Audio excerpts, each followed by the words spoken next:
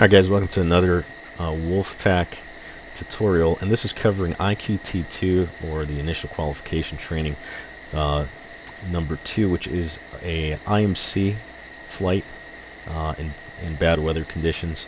Um, I'm doing it in daytime here just for demonstration purposes, but uh, when you do it, you'll be doing it at night.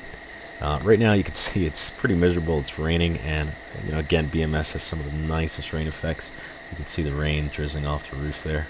And uh, the instructor here is you know, wondering, are we actually going to fly in this? And the student looks pretty scared right now.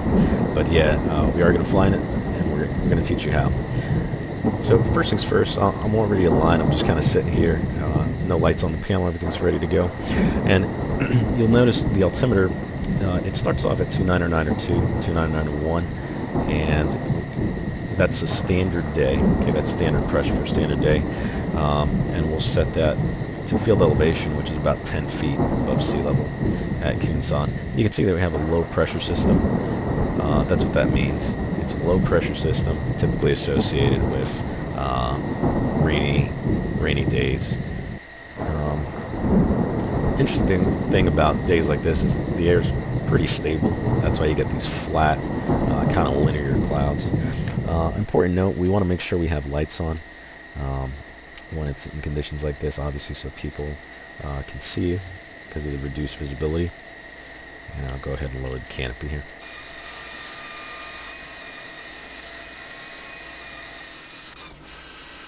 Okay, I already loaded my data cartridge, and even though we have a flight plan here, we're going up to uh, Kimpo, by the way.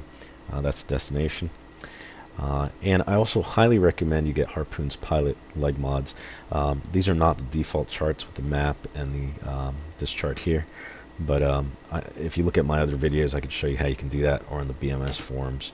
Uh, so we're going up to Kimpo, and it's pretty, pretty high definition uh, for BMS uh, map here. There's Kimpo, and there's 83 X-ray if you can see that. That's the TACAN channel.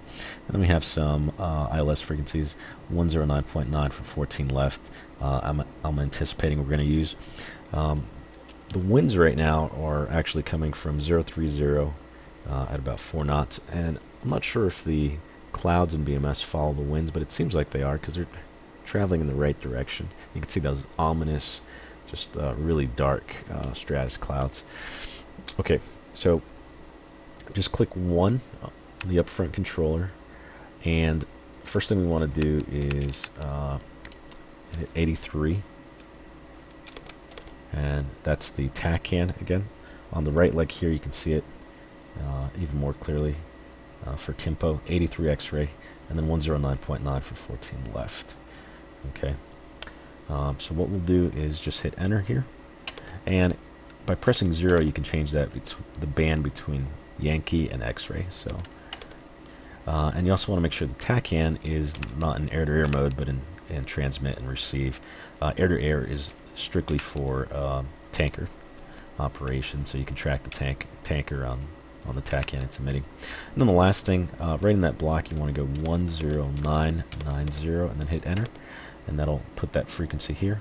And then I know we're using uh, runway 14, so uh, that's heading 140. It might be something else, like for instance Kunsan, even though it's runway 36, it's 356. That's considered the magnetic heading of the runway. And those things do change depending on, on the Earth's rotation um, over the years. So that's why a runway might go from the 36 to 35 in five years or something like that. Um, you don't need to know all that, but just estimate 140 for runway 14, and you hit enter, and we're done with that. Um, so th what that enables us to do is, even though we have waypoints, if we lose those waypoints, we still have an ability to to track the runway.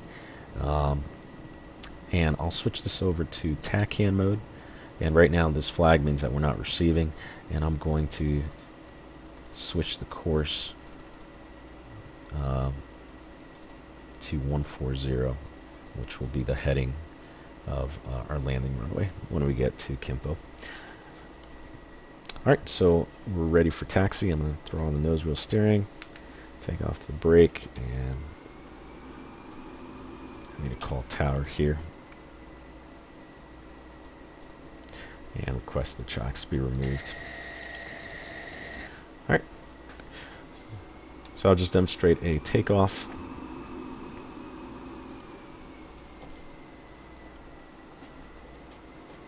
Lobo 2-1. Is there a problem?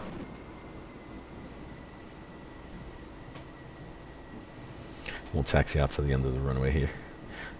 And these these rain effects are just really incredible and immersive. Okay, I'll turn off the radio so tower doesn't bother us too much.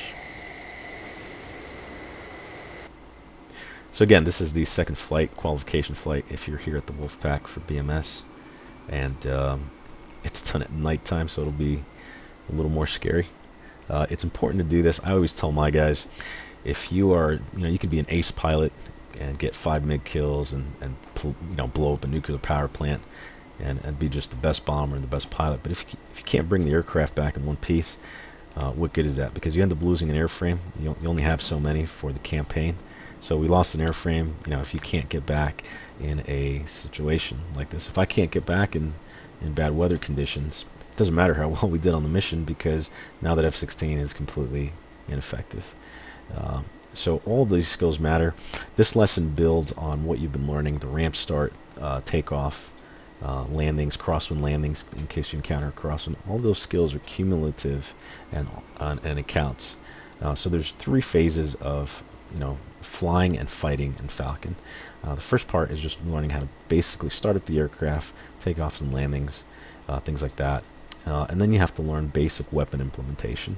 So just how to employ Maverick, how to employ laser guided bomb when the bullets aren't flying. And then the last part is to, once you're proficient in those and you become a, just a basic, uh, you know, mission ready pilot or fighter weapon patched pilot, then you can implement some tactics. So we'll go ahead and take off, and those was steering off, and nothing really different from this. do an afterburner takeoff here.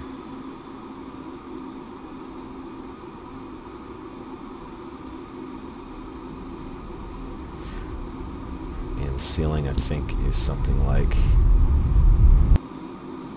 Ooh, really nasty crosswind here. Up.